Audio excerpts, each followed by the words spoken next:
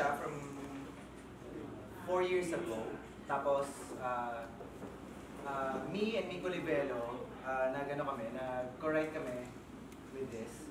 So, uh, continuous development siya until, ano, parang until recently na we finished it.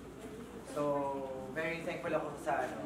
Before anything else, bago yung magsimula, thankful talaga ako sa Regal for giving me an opportunity to shoot the script I made years ago.